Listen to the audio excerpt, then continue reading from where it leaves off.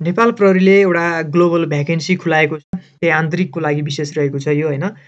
जस्तो संयुक्त राष्ट्र सङ्घको अनुरोधमा शान्ति स्थापनार्थ युनाइटेड नेसन इन्टिग्रेटेड जुन ट्रान्जिसन असिस्टेन्स जुन मिसन इन सुडान भनेको छ युएनआइटिएएमएसको लागि पुलिस लेसन अफिसर भनेको छ।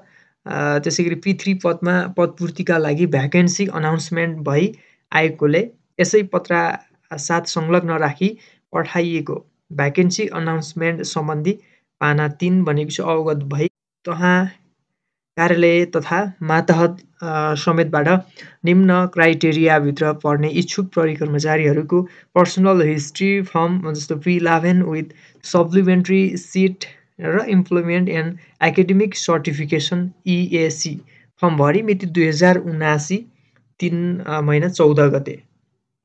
अर्थात् चाहिँ असार चौध गते कार्यालय समयभित्र सम्बन्धित कार्यालयको सिफारिस पत्रसहित यस शाखाको इमेल एड्रेस जुन यहाँ दिएको छ Nepal police at the rate Gmail dot कममा दस्तखत सहितको स्क्यान कपिज पिडिएफ फाइल पठाउनु हुन अनुरोध छ भनेको छ। यो के हेर्न सक्नुहुन्छ जस्तो क्राइटेरियाहरू भनेको छ यसमा विशेष गरी यो पनि महत्त्वपूर्ण हुन्छ। कम्तीमा एकपटक युएन मिसनमा सहभागी भएको अनुभव प्राप्त हुनुपर्ने भनेको छ। दुई नम्बरमा भनेको छ आवेदन प्राप्त गर्ने अन्तिम मितिभन्दा अगाडि एक वर्षभित्र कुनै पनि किसिमको विभागीय कारवाही नभएको हुनुपर्ने होइन? भ्याकेन्सीमा तोकिए बमोजिमको पी थ्री दर्जा पी थ्री पदमा प्र प्रहरी नायब उपरीक्षक वा सोभन्दा माथि हुनुपर्ने भनेको छ। जस्तो कि उल्लेखित भ्याकेन्सीको लागि आवश्यक पर्ने फर्महरू जानकारी का लागि नेपाल प्रहरीको वेबसाइटमा प्रकाशित भ्याकेन्सी डिटेल्सको साथमा राखिएको हुँदा सोही अनुसार फर्महरू तयार गरी सम्बन्धित कार्यालयको सिफारिस पत्र जुन पत्र साथ पेस गर्नुपर्नेछ भनेको छ पाँचमा तोकिएको ढाँचाभन्दा फरक तथा तोकिएको मिति पश्चात जुन चाहिँ प्राप्त हुन आएको फर्महरूलाई समावेश गरिने छैन भनेको छ। आवेदन दिने प्रहरी कर्मचारीको जागिरी अवधि आवेदकको बखत जुन कम्तीमा दुई वर्ष बाँकी रहेको हुनुपर्नेछ भनेको छ।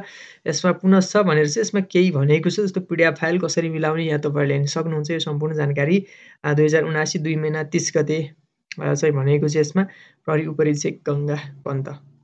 यहाँ यसरी हेर्न सक्नुहुन्छ युनाइटेड नेसन तपाईँहरूको लागि चाहिँ जब opening for position requiring official भनेर भनेको छ यसमा। सेकेन्ड मेन ए हेर्नु होला तपाईँहरूले राम्रोसँग डिटेल होइन मैले बिस्तारै स्क्रोल गरेँ। तपाईँहरू जुन योग्य हुनुहुन्छ होइन जुन भ्याकेन्सीको लागि चाहिँ योग्य मान्छे हुनुहुन्छ भने त्यहाँ तपाईँहरूले मजाले एप्लाई गर्न सक्नुहुनेछ।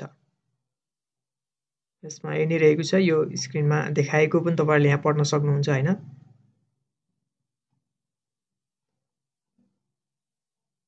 यही नै थियो साथीहरू एउटा महत्त्वपूर्ण जानकारी रहेको थियो होइन? जानकारी पनि हो यो एउटा महत्त्वपूर्ण विज्ञापन रहेको थियो।